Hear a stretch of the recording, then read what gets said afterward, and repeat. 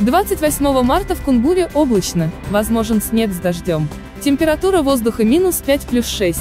Атмосферное давление 757 миллиметров ртутного столба. Ветер юго-западный 4 метра в секунду.